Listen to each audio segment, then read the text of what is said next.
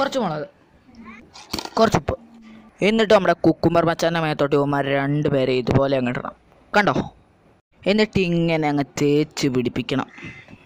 എന്നിട്ട് ഇതേപോലെ ഒരു കടി സൂപ്പർ ആയിട്ടുണ്ട്. കൊള്ളാം. ഈ വീഡിയോ ഇഷ്ടപ്പെട്ടെങ്കിൽ ലൈക്ക് ചെയ്യുക ഷെയർ ചെയ്യുക സബ്സ്ക്രൈബ് ചെയ്യുക.